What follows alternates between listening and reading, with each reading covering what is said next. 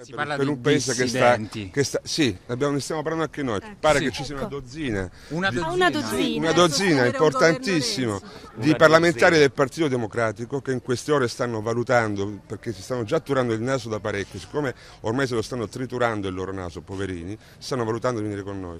No, ma Questa- dissidenti No, no, vostri, dissidenti dissidenti del nostri. Movimento No, 5 io vi sto- Stelle. Io vi sto dando una notizia, io- Ah, non sì, ne sono dieci mesi che No, vabbè, allora questo. Però le appoggerebbero il queste governo persone. Renzi Io 1. penso- Se, se lei vuole che io gli dica sì, ci sono dissidenti, io dico, cioè se lei si aspetta già una risposta, io le dico, le sto dando una nuova notizia. Pare che ci sono una dozzina di parlamentari del PD che stanno valutando di abbandonare Di il partito.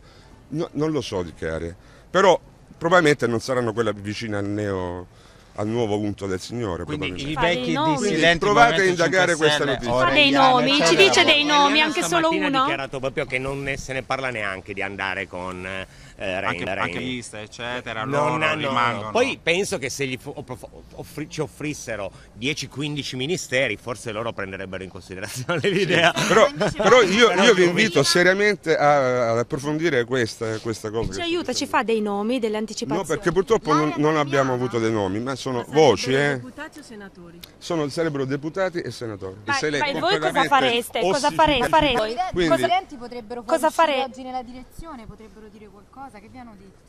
No, non- que- questo, questo non lo so, non lo voi Però penso che... Ma voi li Li accoglierete? accogliereste? Come? Li accogliereste? Scusa, che cosa? Accogliere- Questi dissidenti del PD li accogliereste? Dovremmo- dobbiamo parlarne, dobbiamo parlarne.